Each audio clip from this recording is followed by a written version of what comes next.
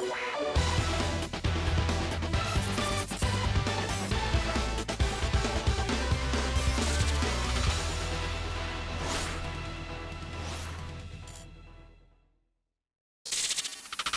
everyone, how are you doing? This is MD Tech here with another quick tutorial. In today's video, I'm going to show you guys how to resolve if you're getting errors says the element was not found on your Windows 10 computer. So this should hopefully be a fairly straightforward tutorial and we're going to jump right into it. So let's say you're not able to get a screen that looks like this and maybe you have a black screen on your computer. What you want to do is basically get access to the task manager. So if your screen does look like this, I'd recommend going down to your taskbar down here, right clicking and then left clicking on task manager and then left clicking on more details right here.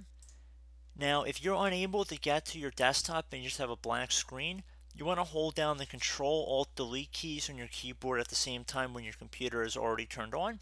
So let me just give you guys an example here. So I just hit control alt delete. There should be an option that says task manager. You want to left click on that again, since we already have Task Manager open, but let's say I close out of it and then I did Control Alt Delete, and then I left click on Task Manager, you can see it'll open it up. Now you want to go to the Details tab over here, and you want to look for something that says Explorer.exe right here. You want to right click on it, left click on End Task. It's going to ask you want to end Explorer.exe.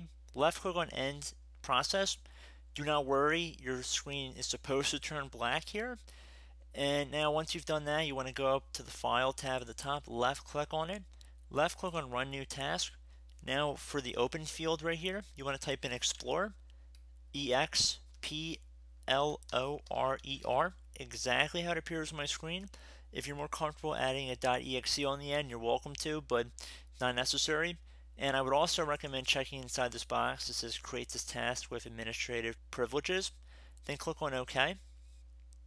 This should reset Explorer and hopefully it should resolve your issue as well.